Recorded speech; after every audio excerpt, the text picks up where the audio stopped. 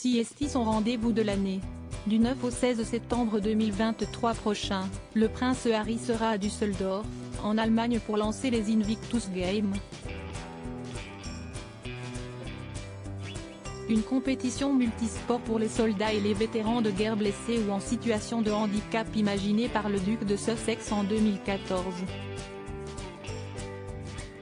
présente à ses côtés, Meghan Markle devrait présenter le Story Scene, mettant à l'honneur la bravoure et de la résilience des militaires blessés qui participent à la compétition, rapporte le Daily Mail. Le prince Harry, lui prendra la parole lors de la cérémonie de clôture au cours de laquelle Charles III pourrait, lui aussi, prononcer un discours pour saluer l'esprit inébranlable et les impressionnants parcours de rétablissement des concurrents. Si pour l'heure rien n'a été confirmé par Buckingham Palace, le petit frère du prince William promet que cette édition serait la meilleure jamais organisée.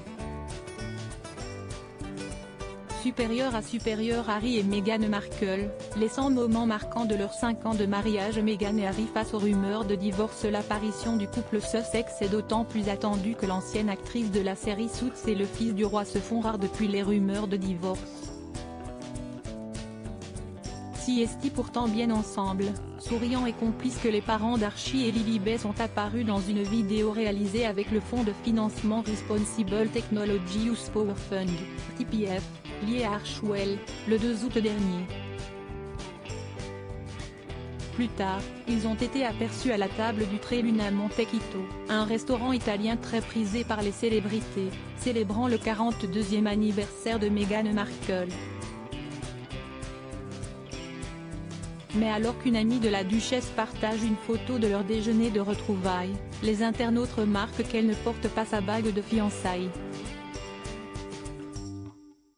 Un bijou, composé d'un anneau en or, est orné d'un gros diamant provenant du Botswana, pays cher au cœur du prince, et entouré de deux plus petits diamants ayant appartenu à la princesse Diana.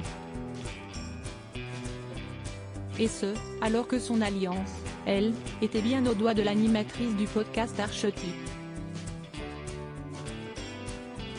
Crédit photo, agence.